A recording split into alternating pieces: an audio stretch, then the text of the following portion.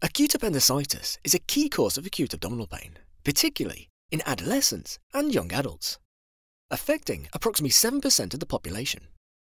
So, as such, it's really vital that we're able to diagnose the condition effectively and quickly to enable us to treat the patient and prevent any deterioration. And in this video, we're going to focus on how we can make the diagnosis of acute appendicitis using a CT or a CAT scan. CT is the most commonly used imaging investigation in adults with presumed appendicitis. It's highly sensitive and specific, with increasing accuracy as the severity of the appendicitis increases.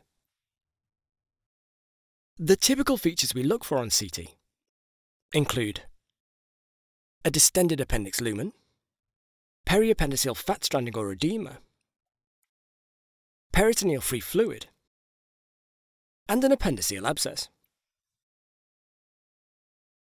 If we take a look at this coronal image, we can see that it shows an appendicitis in a retrocecal position, but also slightly paracecal, with a distended lumen and also some adjacent fat stranding, which signifies some edema as a result of the inflammation.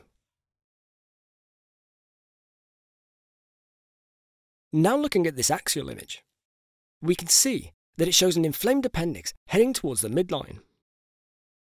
But additionally, we can also see an appendicolith. When identified, appendicoliths have a positive predictive value for appendicitis of 75%. Interestingly, we can also see the psoas major muscle lying posterior to the appendicitis, which helps us appreciate the psoas sign and how by moving this muscle through extension of the right hip, it would irritate the overlying appendix and cause the patient to experience pain.